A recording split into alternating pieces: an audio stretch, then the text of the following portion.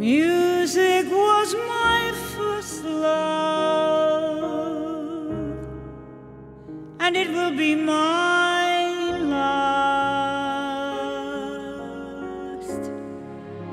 Music of the future, and music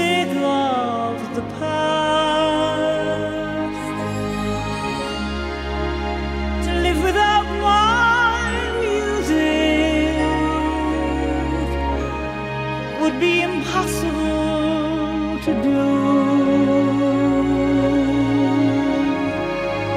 Cause in this world of troubles, my music pulls me through.